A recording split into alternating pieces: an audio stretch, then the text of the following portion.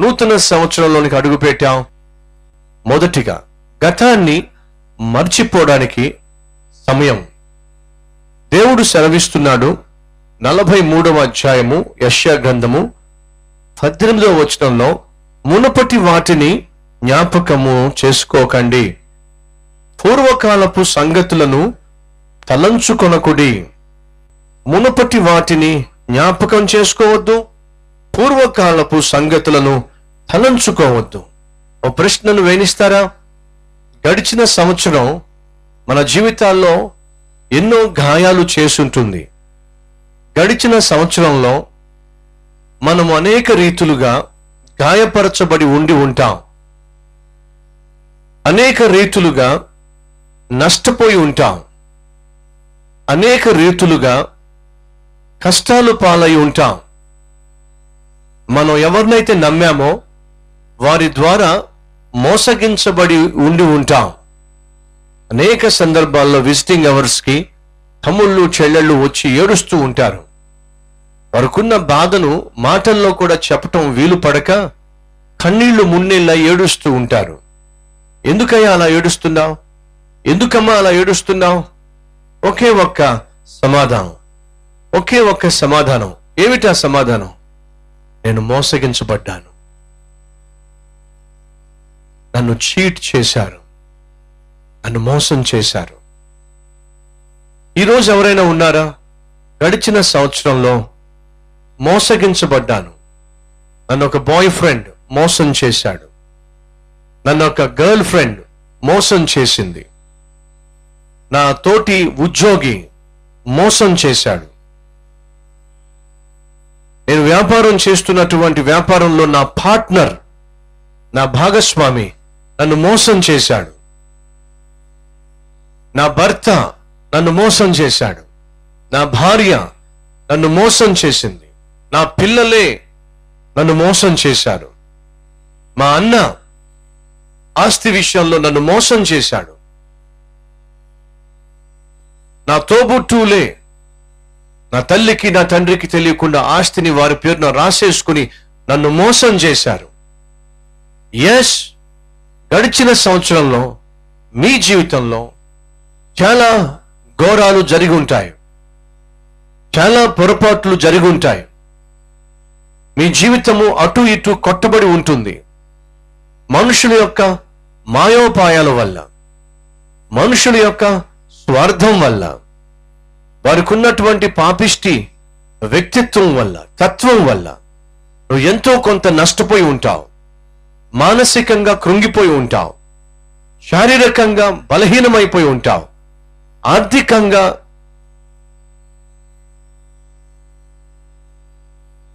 అన్నీ కోల్పోయి ఉంటావు. నీకున్న బ్యాంక్ బ్యాలెన్స్ మొత్తం ఖాళీ అయిపోయి ఉంటుంది. ఎవరినో నమ్మావు. లక్ష రూపాయలు ఇస్తే ఆరు నెలల్లో లక్ష యాభై వేల రూపాయలు ఇస్తానన్నాడు. నమ్మి నీ డబ్బులు ఇచ్చేశావు. చీటీ వేశావు. వడ్డీకి ఇచ్చావు ఇలా అనేక రీతులుగా గడిచిన సంవత్సరంలో నువ్వు నష్టాన్ని కష్టాన్ని కొంతెచ్చుకున్నావు నువ్వు మోసపోయావు అనేటటువంటి ఆలోచన అనేటటువంటి వాస్తవము నీకు నిద్ర పట్టకుండా చేస్తుంది నెమ్మది లేకుండా చేస్తుంది కనీసం భోజనం కూడా చేయకుండా చేస్తుంది. సహోదరులు సహోదరిలో దయచేసి గమనించండి. యేసుక్రీస్తు పన్నెండు మంది శిష్యులు కలవాడు.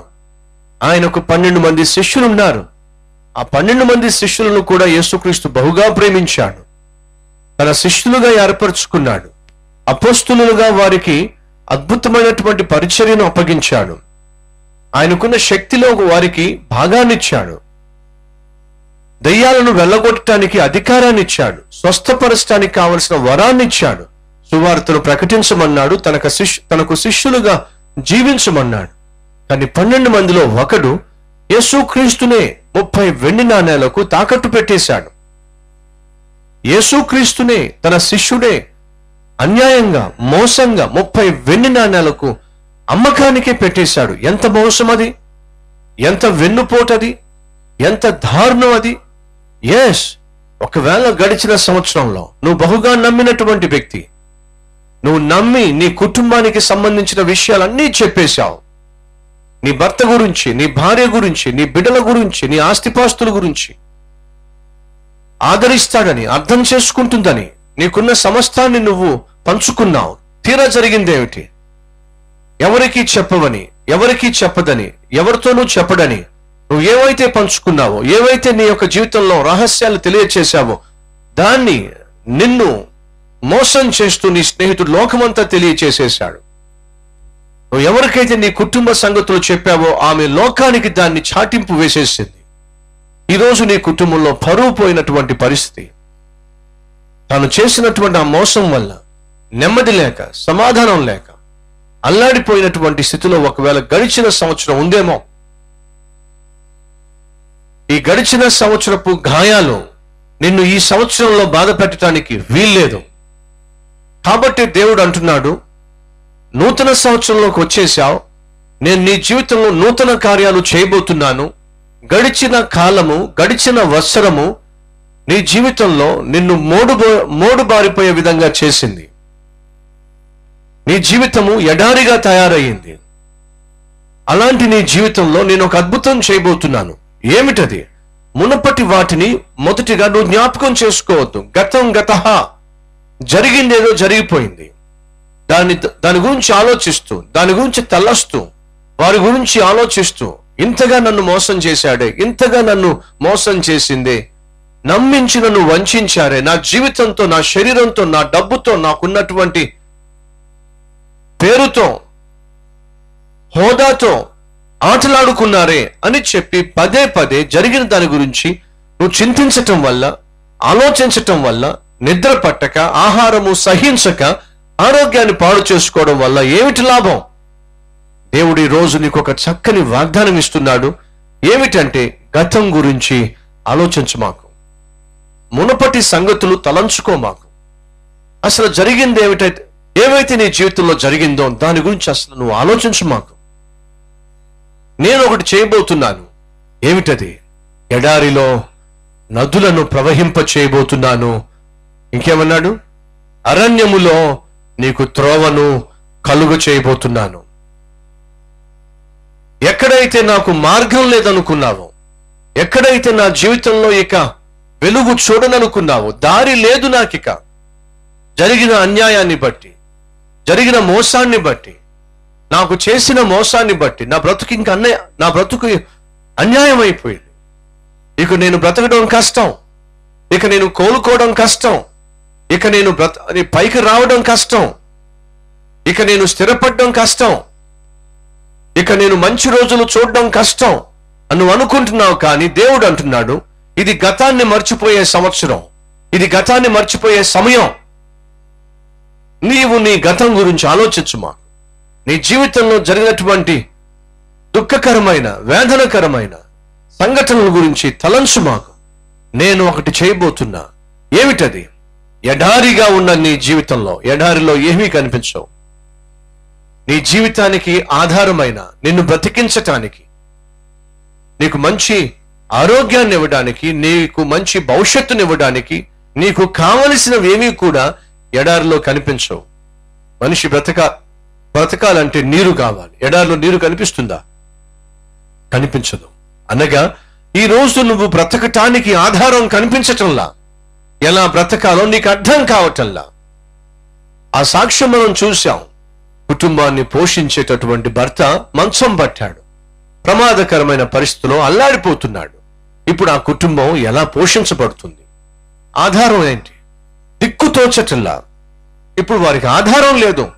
కానీ వారు దేవునికి ప్రార్థన చేయగా దేవుడు ఏం చేశాడు? ఆధారాన్ని పంపించాడు. అద్భుతమైనటువంటి జవాబును అనుగ్రహించాడు. ఎడారిలో నదులు ప్రవహింప చేస్తాను. అంతేకాదు రెండవ మాట. రెండవ మాట అరణ్యములో నీకు త్రోవను కలుగ చేస్తాను. ఎడారిగా ఉన్నటువంటి నీ జీవితంలో నేను నదులు ప్రవహింప చేస్తాను. ఎటు తోచనటువంటి స్థితిలో ఏ మార్గము కానరన్నటువంటి నీ జీవితంలో నేను నీకు త్రోవను కలుగు చేస్తా. ఒక మార్గాన్ని చూపించబోతున్నా. నాకు ఏ మార్గము కనిపించటం లేదు. నాకు ఏ దారి కనిపించటం లేదు. ఎలా నా కుటుంబాన్ని పోషించుకోవాలో నాకు అర్థం కావటం లేదు.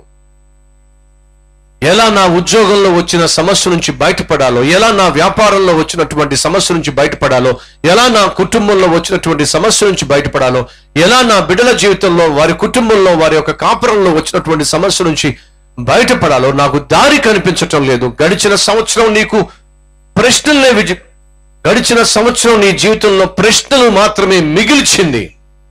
అనేక ప్రశ్నలతో నీవు ఈ నూతన సంవత్సరంలో అడుగు పెట్టావు. నా ప్రభు అంటున్నాడు ఆ ప్రశ్నలన్నిటినీ కూడా నాకు అప్పగించు.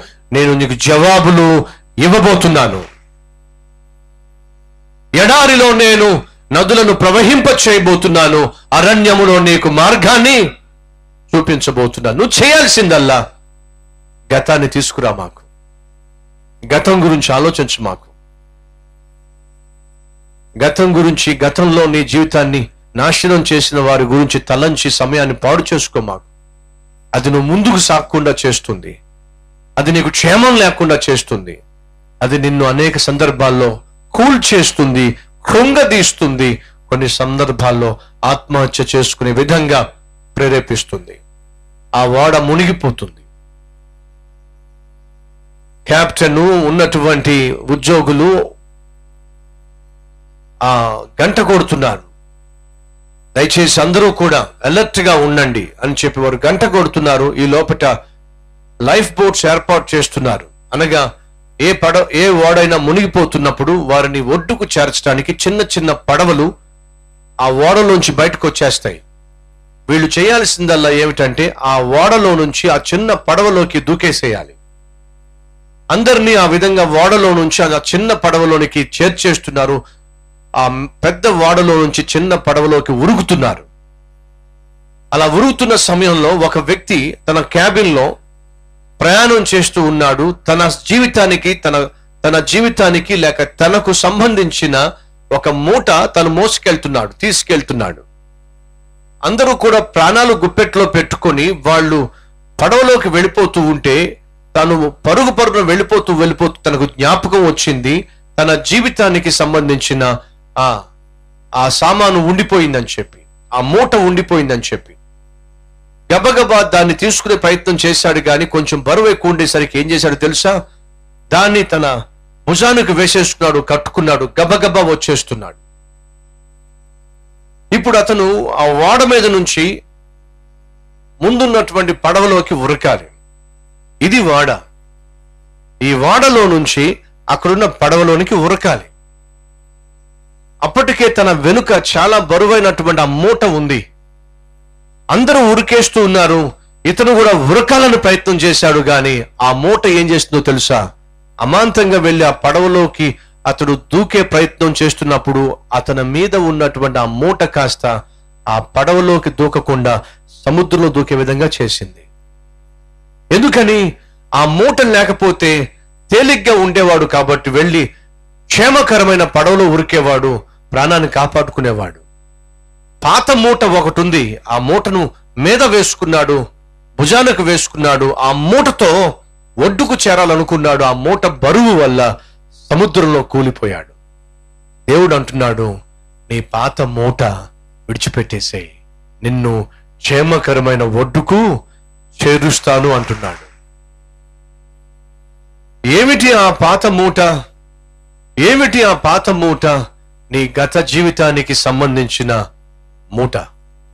గడిచిపోయిన సంవత్సరాల్లో నీ జీవితంలో నీకు భారముగా వేదనగా శోధనగా మిగిలిపోయిన మూటను వదిలేయమంటున్నాడు. ఆ మూటను వదిలేసే నేను క్షేమంగా అద్దరికి చేరుస్తా. ఈరోజు నీ పాత జీవితానికి పాత సంవత్సరానికి సంబంధించినటువంటి జ్ఞాపకాలతో కూడిన మూటను వదిలిపెట్టేస్తావా? దానికి టూ థౌజండ్ ఫిఫ్టీన్ అని పేరు పెట్టేసి వదిలేస్తావా? ఏమిటది? టూ థౌజండ్ ఫిఫ్టీన్ ఏ మూట? టూ థౌజండ్ ఫిఫ్టీన్ మూట. టూ థౌజండ్ ఫిఫ్టీన్లో వదిలేసే దేవుడు నీకు టూ థౌజండ్ సిక్స్టీన్ రెండు వేల పదహారు అనే అద్భుతమైన సంవత్సరాన్ని బహుమానంగా నీకు ఇచ్చాడు. ఈ సంవత్సరము నీకు దీవెనకరంగా ఉండాలంటే గత సంవత్సరపు మూటలు తీసుకురా మాకు. గత సంవత్సరపు జ్ఞాపకాలు తీసుకురా మాకు. ఎస్ మీరే కాదు. నా జీవితంలో కూడా నేను మోసపోయిన సంఘటనలు చాలా ఉన్నాయి. సహజంగా ఆత్మీయ జీవితంలో ఆత్మీయ లోకంలో మన చుట్టూ ఉన్న వారిని మనం నమ్ముతాం.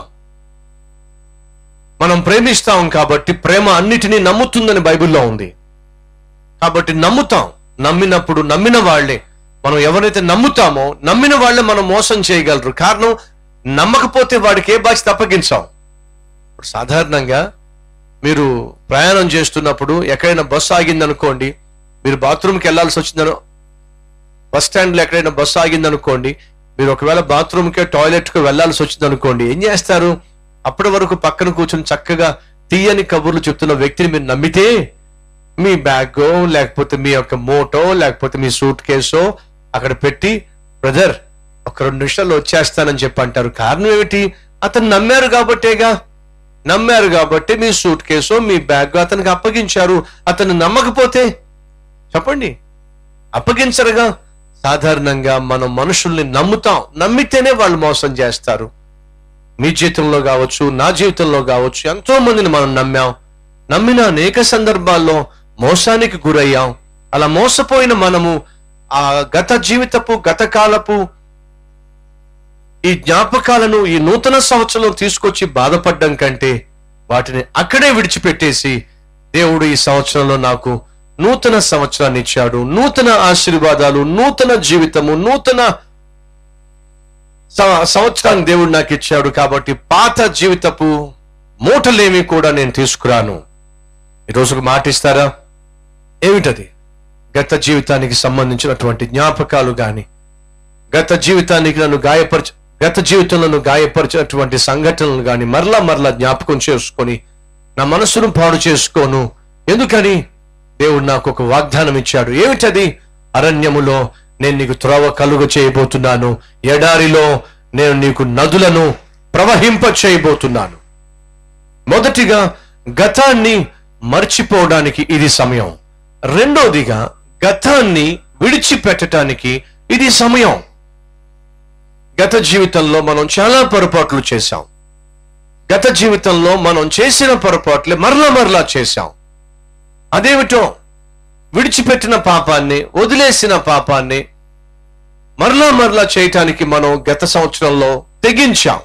కుక్క తన వాంతికి తిరిగినట్టుగా ఏ పాపమైతే వద్దనుకున్నామో ఏ స్థలం అయితే వద్దనుకున్నామో ఏ స్నేహం అయితే వద్దనుకున్నామో ఏ అలవాటు అయితే కాదనుకున్నామో ఏది తప్పు అని తెలుసుకున్నామో ఏది చేయకూడదు అని తీర్మానం తీసుకున్నామో ఏమిటో గడిచిన సంవత్సరంలో మనం ఏ తీర్మానాలు తీసుకున్నామో ఏది వద్దన్నామో ఏది చేయన్నామో ఏమిటో దాని చుట్టూనే తిరుగుతూ ఉన్నాం. అదే చేస్తూ గడిచిన సంవత్సరం అంతా గడిపేశాం. నేను అంటుంది వాస్తవం అంటారా కాదంటారా? నేను చెప్తుంది వాస్తవం అంటారా కాదంటారా? ఏది మీకు ప్రమాదకరమో ఏది మీకు ఇబ్బందికరమో ఏది మీకు హానికరమో ఏది మీకు నష్టకరమో ఏది మిమ్మలను మనశ్శాంతి లేకుండా నెమ్మది లేకుండా పరిశుద్ధత లేకుండా చేసిందో దాన్నేగా పోయిన సంవత్సరం అంతా మనం పట్టు కూర్చుంది. దాని చుట్టూనేగా మనం తిరిగింది. దేవుడు ఇది నీకు వద్దు. దేవుడు నీకు ఇది క్షేమం కాదు. దేవుడు నీకు ఇది మంచిది కాదని చెప్పినా సరే పట్టించుకోకుండా దాని చుట్టూనే తిరిగాం కదా. ఏదైతే మనల్ని బానిసగా చేసిందో ఏదైతే మనకు నెమ్మది లేకుండా చేసిందో ఏదైతే మన జీవితంలో పరిశుద్ధత లేకుండా చేసిందో దాన్ని విడిచిపెట్టాల్సిన సమయం. ద్వితీయోపదేశ కాండము రెండవ అధ్యాయము. ద్వితీయోపదేశ కాండము రెండవ అధ్యాయము. రెండవ వచనము. రాత్రి నేను ఒక వీడియో కావాలని అడిగాను ఉందది? రైట్. రెండవ అధ్యాయము. ద్వితీయోపదేశ కాండము రెండవ వచనము. One forty six page number నూట నలభై ఆరు. అందరం చదువుదామా? నూట నలభై ఆరవ పేజ్ నెంబర్ ఒకవేళ బైబిల్ లేకపోతే స్క్రీన్లో మీరు చూడండి. అంతటా యహోవా నాకు ఇలాగూ సెలవిచ్చాను. మీరు ఈ మన్నెము చుట్టూ తిరిగిన కాలము చాలును. మన్నెము చుట్టూ తిరిగిన కాలము చాలు. మొదటి అధ్యాయము రెండవ వచనము. ఓరేబు నుండి సేయూరు మన్నెపు మార్గముగా కాదేశు బర్నియా వరకు పదకొండు దినముల ప్రయాణం. Eleven days journey. సహోదరులు సహోదరులు జాగ్రత్తగా వినండి. దేవుడు ఐగుప్తులో క్షమించండి ఐగుప్తులో ఇస్రాయేలీలు బానిసలుగా ఉన్నప్పుడు దేవుడు వీరిని ఐగుప్తు నుంచి ఫరో చేతిలో నుంచి విడిపించాడు. విడిపించి వీరికి పాలు తేనెలు ప్రవహించే దేశాన్ని వాగ్దానం చేశాడు. అయ్యా మీకోసం అద్భుతమైన దేశాన్ని సిద్ధంగా ఉంచాను. అది పాలు తేనెలు ప్రవహించు దేశము. పదండి ఆ దేశాన్ని స్వతంత్రించుకోండి. అద్భుతమైన దేశాన్ని మీకోసం సిద్ధం చేశా. పదండి అని చెప్పి దేవుడు ఇస్రాయేలీలను ఆ మోషే ద్వారా బానిసత్వం నుంచి విడిపించాడు. ఐగుప్తు దేశం నుండి వాగ్దానం చేసినటువంటి దేశానికి వారు ప్రయాణం చేసి వెళ్ళడానికి పట్టేటటువంటి కాలము పదకొండు దినములు. ఎన్ని రోజులు? పదకొండు రోజులు. దురదృష్టం ఏమిటంటే విచారకరమైన సంఘటన ఏమిటంటే వీళ్ళు దేవుని మాట వినకుండా దేవుడు చెప్పినట్టుగా చేయకుండా దేవుని మీద గొనుక్కుంటూ దేవుని మీద సనుక్కుంటూ మోషే మీద ఎదురు తిరుగుతూ తిరుగుబాటు చేస్తూ దేవుణ్ణి విసిగిస్తూ విసిగిస్తూ విసిగిస్తూ ఏం చేశారో తెలుసా? ఎక్కడ తిరుగుతున్నారో అక్కడే తిరుగుతున్నారు అక్కడే తిరుగుతున్నారు అక్కడే తిరుగుతున్నారు అక్కడే తిరుగుతున్నారు. అలా నలభై సంవత్సరాలు తిరిగారు. ఎన్ని సంవత్సరాలు? వాగ్దానం చేసినటువంటి భూమి ఏమో ఖాళీగా ఉంది. వాగ్దానం చేసిన దేవుడేమో ఎదురు చూస్తున్నాడు.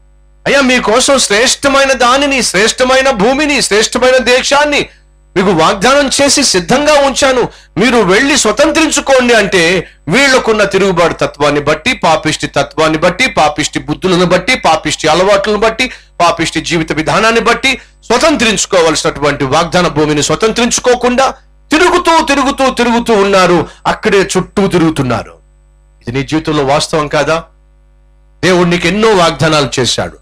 దేవుడు నీ పట్ల నా పట్ల మన పట్ల శ్రేష్టమైన తలంపులు కలిగి ఉన్నాడు.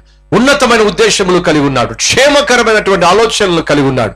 నువ్వు ఈ రోజు ఉన్న స్థితిలో నుంచి మెరుగైన స్థితికి రావాలని. ఈ రోజు నువ్వు కలిగి ఉన్న జీతం ఉద్యోగం నుంచి మెరుగైన ఉద్యోగం పొందుకోవాలని. ఈ రోజు నువ్వు కలిగి ఉన్న జీతం కంటే మెరుగైన జీతం పొందుకోవాలని. నీ వ్యాపారంలో వచ్చేటటువంటి లాభం కంటే మరెంతో చక్కని లాభం పొందుకోవాలని. నీ కుటుంబం కలిగి ఉన్న స్థితిగతుల కంటే మెరుగైన స్థితిగతులు పొందుకోవాలని.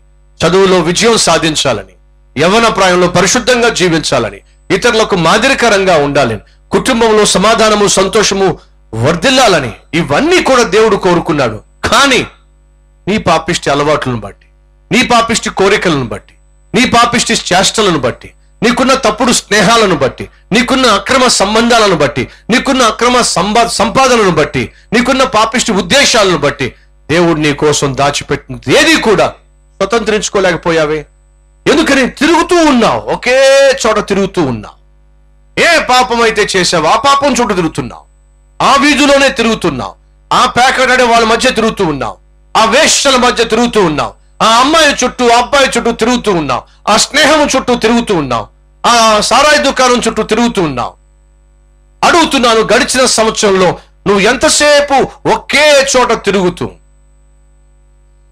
ఒకే ప్రాంతంలో తిరుగుతూ ఒకే పాపానికి అలవాటు పడి తిరుగుతూ ఆ ఇంటర్నెట్ సెంటర్ల చుట్టూ తిరుగుతూనే ఉన్నాం.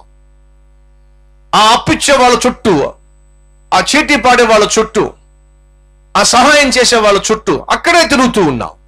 దేవుడు అంటున్నాడు చాలయ్యా ఎంతకాలం తిరుగుతావేక తిరిగింది చాలు. ఏమంటున్నాడు? మీరు మన్యములో తిరిగినది చాలు. ఎంతకాలం తిరుగుతారు? కొన్నిసార్లు కొన్ని కుక్కలు ఏమిటో వింత పనులు చేస్తాయి. దేన్నో పట్టుకుంటాయి దాన్నే పట్టుకుని తిరుగుతాయి. చూడండి కావాలంటే ఒకసారి వీడియోలో. ఏమై ఏమైనా అర్థం ఉందా? దాని తోకను పట్టుకుని చూడండి ఏం తిరుగుతుందో. అదిగో. అంతే. ఇది చూడండి.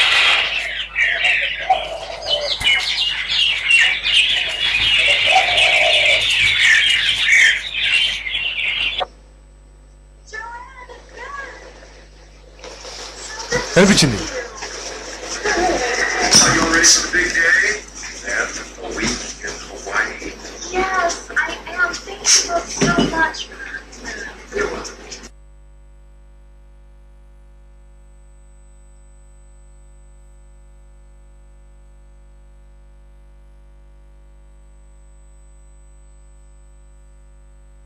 హలో బ్రదర్స్ సిస్టర్స్ పోయిన సంవత్సరం మనం అందరూ ఇంతే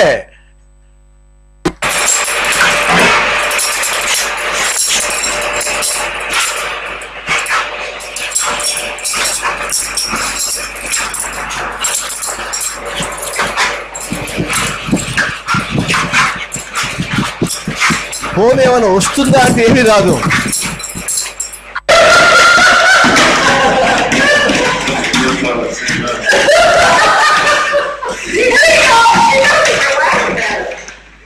రైట్ ఎందుకు ఇన్ని కుక్కలను చూపించావంటే? ఇలా తిరిగే కుక్కలు తెల్ల కుక్కలు ఉంటాయి నల్ల కుక్కలు ఉంటాయి లావు కుక్కలు ఉంటాయి సన్న కుక్కలు ఉంటాయి పొట్టి కుక్కలు ఉంటాయి నాలాంటి పొడుగాటి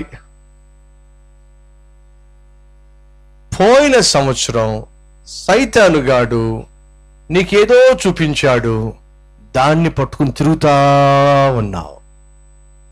పోయిన సంవత్సరం సైతానుగాడు నీ ముఖాన్ని ఏదో పడేశాడు దాన్నే పట్టుకుని తిరుగుతా ఉన్నావు. దేవుడు అంటున్నాడు ఎంతకాలం తిరుగుతాలా?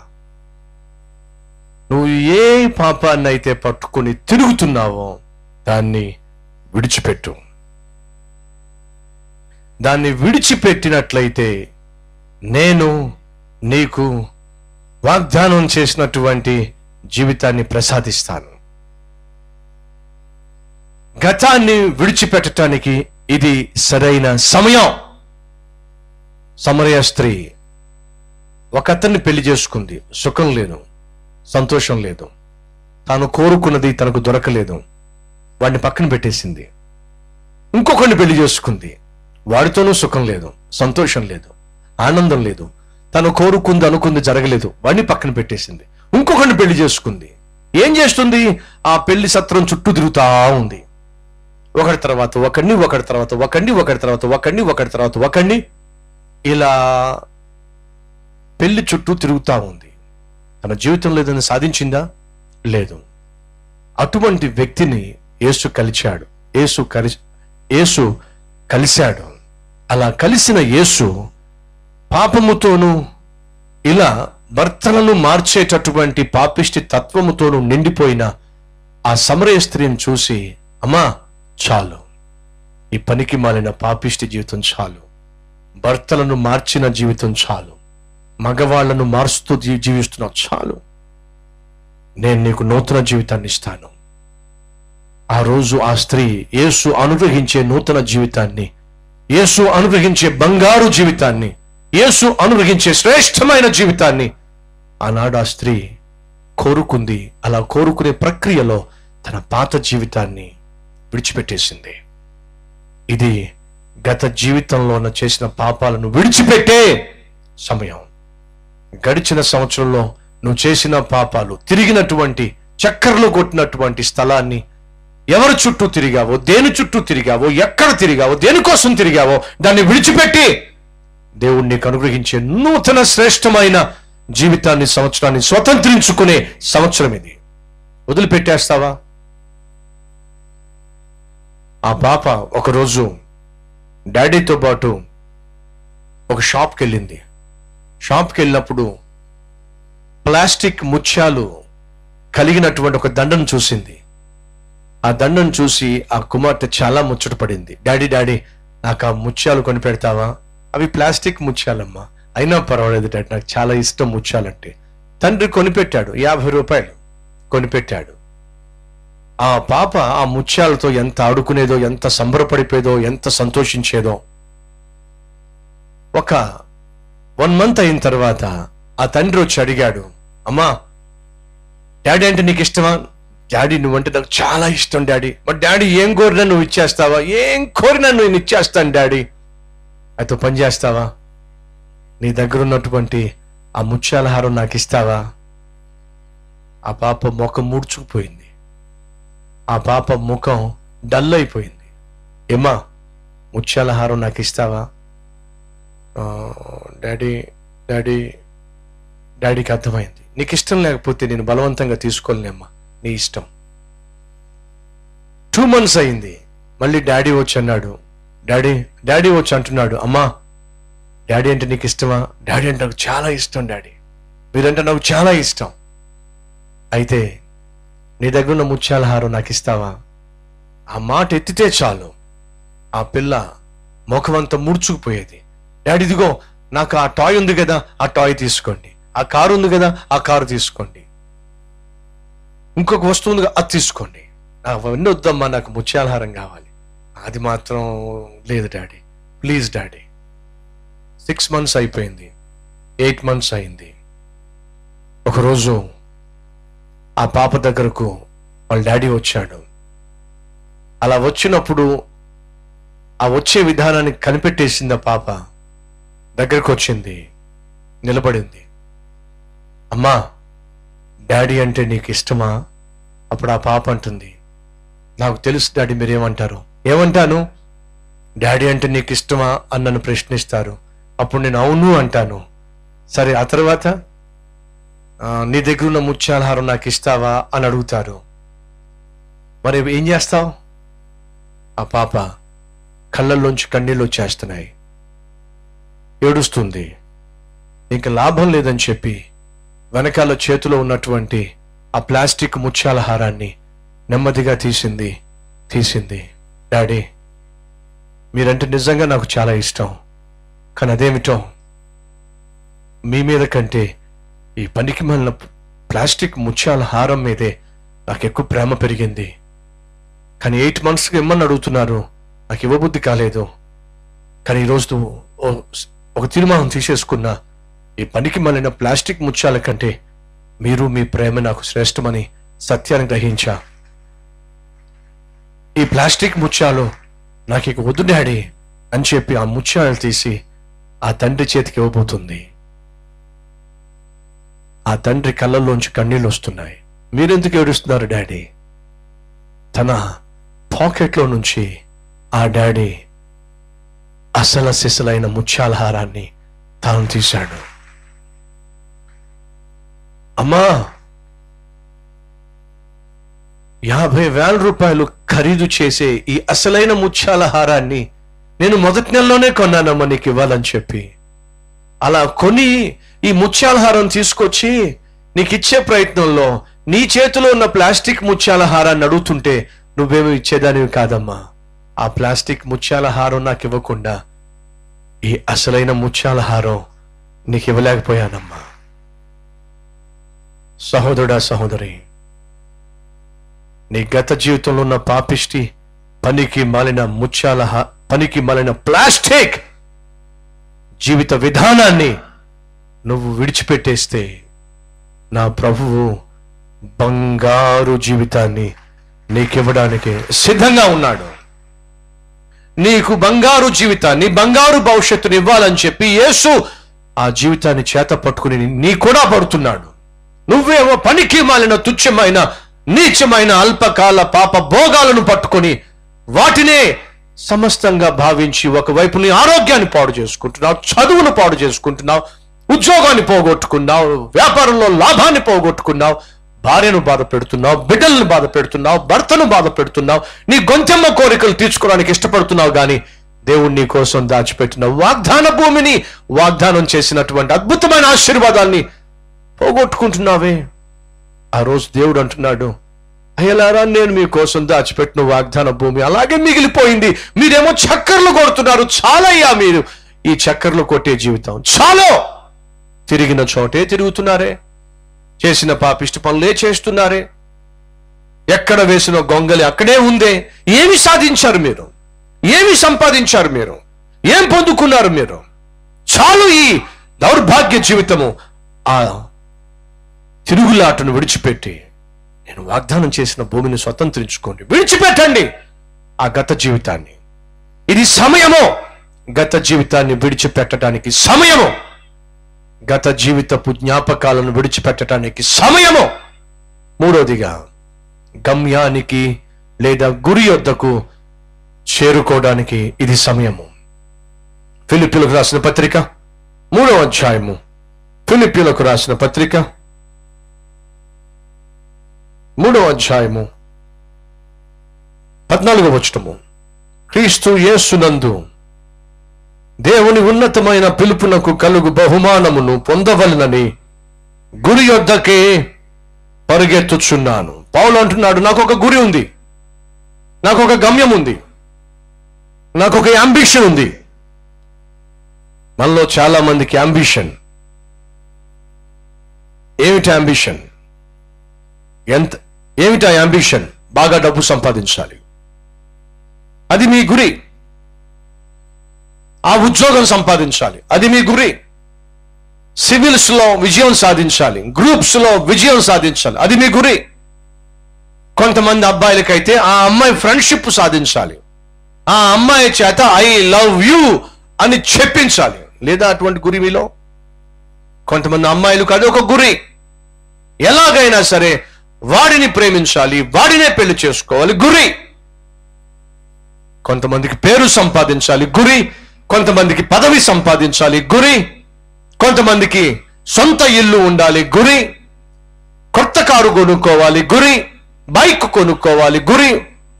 ఈ గురులు కలిగి గడిచిన సంవత్సరం అంతా గడిచిన సమయాన్ని అంతా సంవత్సరాలంతా నువ్వు వేస్ట్ చేసుకున్నావు.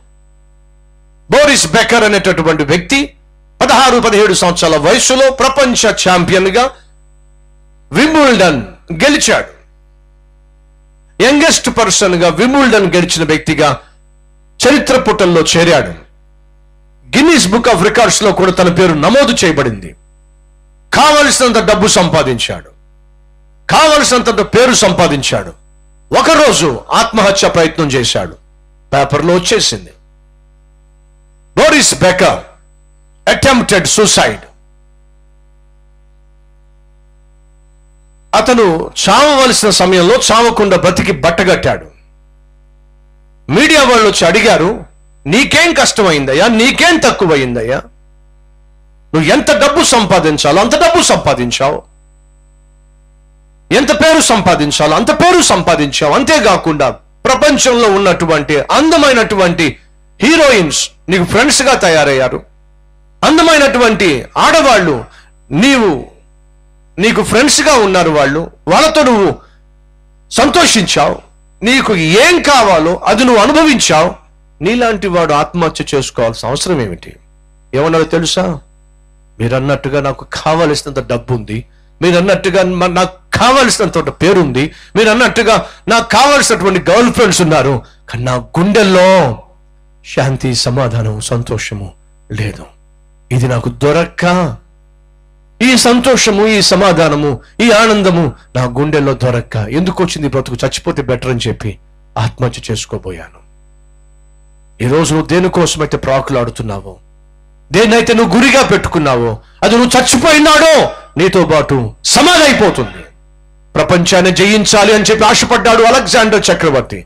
ముప్పై మూడు సంవత్సరాల వయసులో ప్రపంచాన్ని జయించాడు. అలా జయించిన అలెగ్జాండర్ చక్రవర్తి ఏడ్చాడు. ఇక నేను జయించడానికి దేశాలు లేవా? లేవు. ప్రపంచాన్ని జయించాడు. కానీ ముప్పై మూడు సంవత్సరాల వయసులో రోగం వస్తే ఆ రోగాన్ని జయించలేక ఆఖరికి యవన ప్రాయంలోనే మరణ పడక మీద పడ్డాడు. చచ్చిపోతూ చచ్చిపోతున్న మంత్రిని పిలిపించి నేను చచ్చిపోయిన తర్వాత బాక్స్లో పెట్టినప్పుడు రెండు చేతులు బయట పెట్టండి. ఎందుకు రాజా? ప్రపంచాన్ని అయితే జయించగలిగాను కానీ చచ్చిన్నాడు. నాతో పాటు నేనేమి తీసుకెళ్తల్లా? ఒట్టి చేతులతో వచ్చా ఒట్టి చేతులతో పోతున్నా ప్రపంచానికి తెలియచేయండి. సహోదరుడా సహోదరి నువ్వు దేని కూడా అయితే పడుతున్నావు ఈ రోజు దేన్ని సాధించాలని ఆరాట పడుతున్నావో అది నీతో పాటు సమాధి అయిపోతుంది ఒక రోజు. కానీ నువ్వు నేను పరిగెట్టాల్సింది నువ్వు నేను ఆరాటపడాల్సింది నువ్వు నేను కలుసుకోవాల్సింది నువ్వు నేను పొందుకోవాల్సింది నువ్వు నేను గమ్యముగా గురిగా కలిగి ఉండాల్సింది ఒకటే ఏమిటది? యేసు క్రీస్తు ఆయన ఒక్కడే నీకు నాకు గురిగా ఉండాలి. నేను బ్రతికితే యేసుక్రీస్తులా బ్రతకాలి.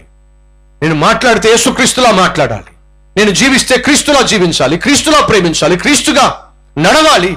క్రీస్తు వలె ఈ లోకంలో సంచరించాలి. ఇది నీ గురి నా గురి కావాలి.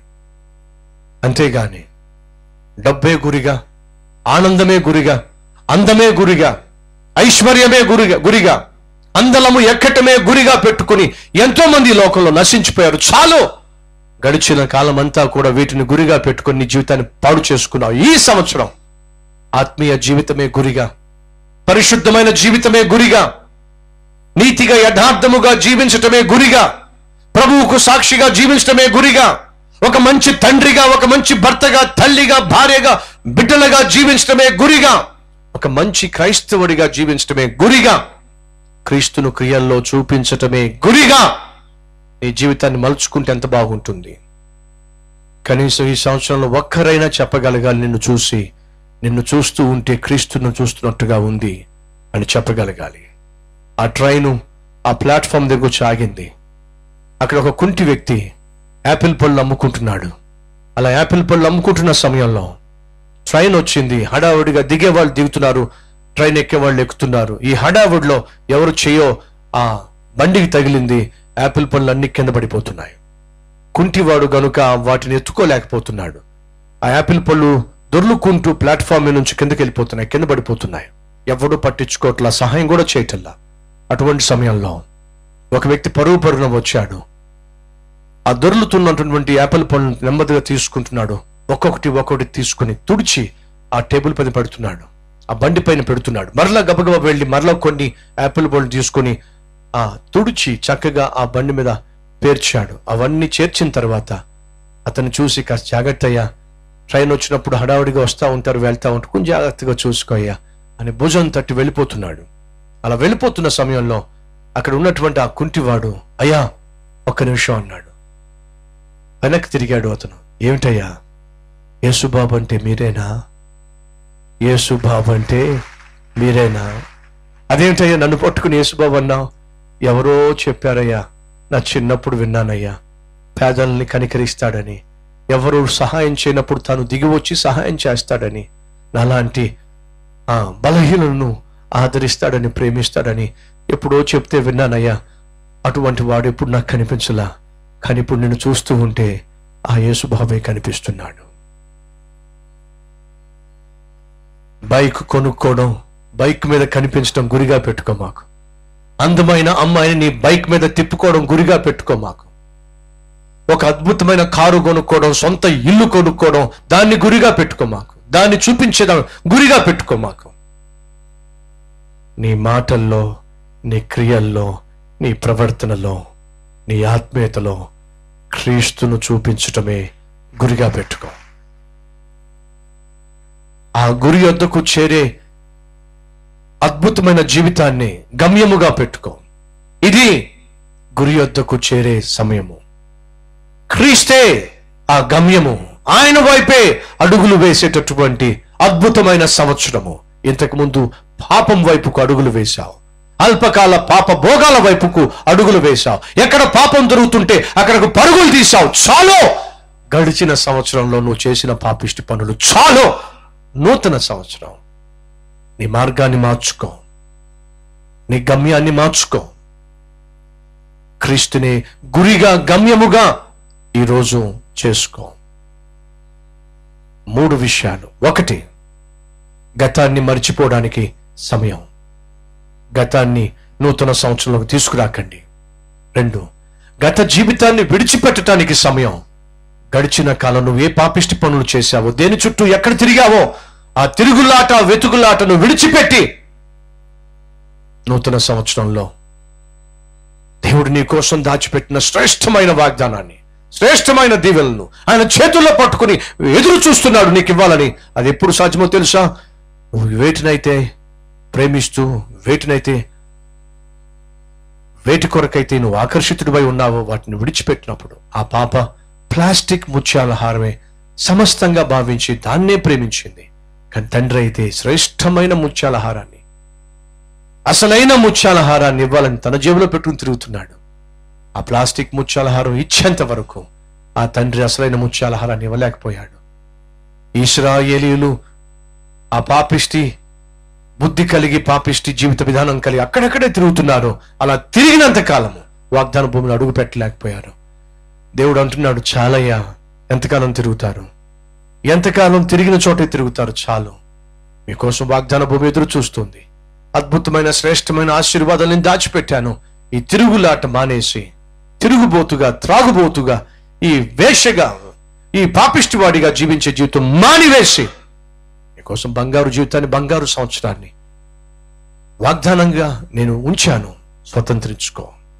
గడిచిన కాలాన్ని గడిచిన కాలంలో చేసిన పాపాలను గడిచిన కాలపు స్మృతులను లేదా జ్ఞాపకాలను విడిచిపెట్టి ఈ సంవత్సరము క్రీస్తు వలె జీవించటానికి క్రీస్తునే గురిగా పెట్టుకుని జీవించటానికి ఎందుకు నిన్ను నీవు ఈరోజు ప్రభువుకు నీ జీవితాన్ని పునరంక పునరంకితం చేయకూడదు? ఒకసారి ఆలోచించు. ప్రార్థన చేద్దాం ప్రతి ఒక్కరు.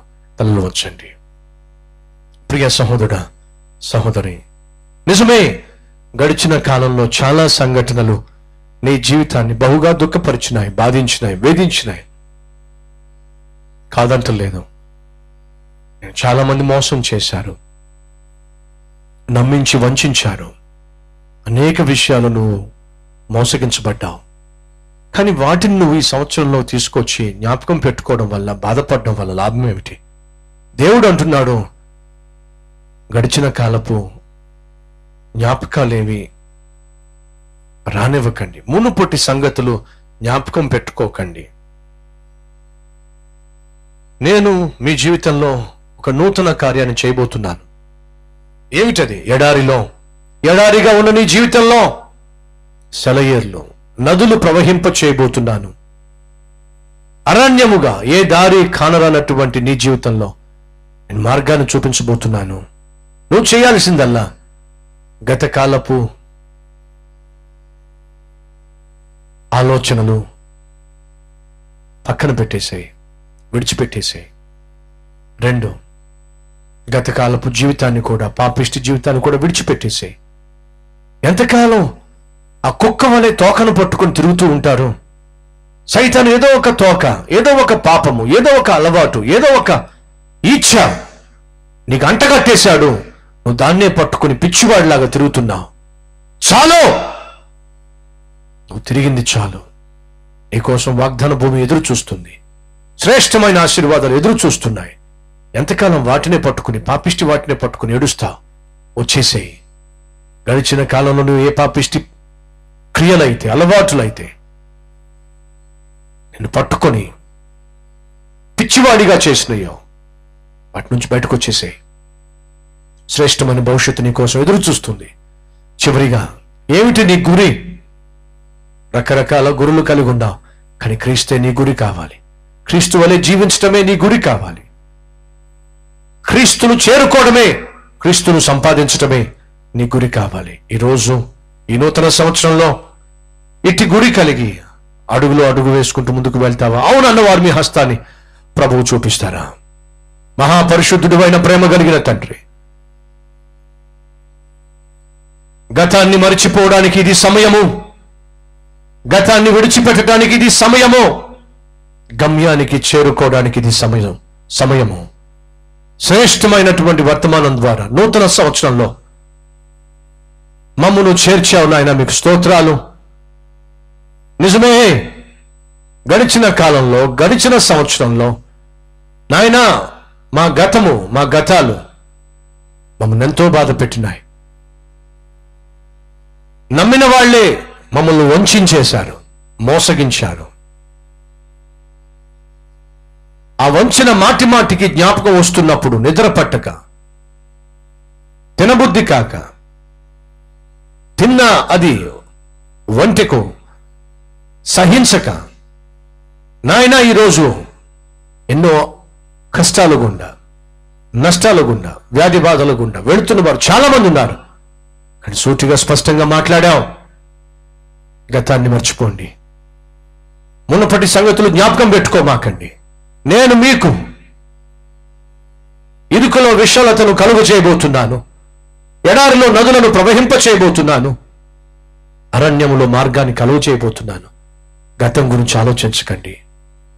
నేను మంచి భవిష్యత్తుని ఇవ్వబోతున్నాను అయ్యా ఈ అద్భుతమైన వాగ్దానంతో మమ్మల్ని నూతన సంవత్సరంలో బలపరుస్తున్నందుకు అద్భుతమైన ప్రారంభాన్ని మాకు ఇస్తున్నందుకు మీకు వందనాలు. గడిచిన గతంలో మేము చేసిన పాపాలు విడిచిపెట్టమంటున్నావు తిరిగింది చాలు అంటున్నావు ఇక నుంచి అయినా పాపము చేయడానికి మేము తిరిగింది చాలు. త్రాగడానికి తందనాలు ఆడడానికి తిరగడానికి తుచ్చమైన నీచమైన పాపాలు చేయడానికి. అయ్యా! గడిచిన కాలంలో మేము చక్కర్లు కొట్టింది చాలు.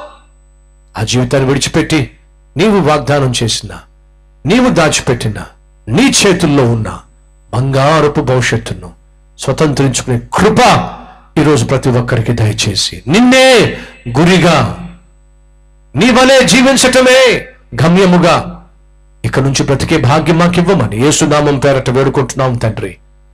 ఆమెన్.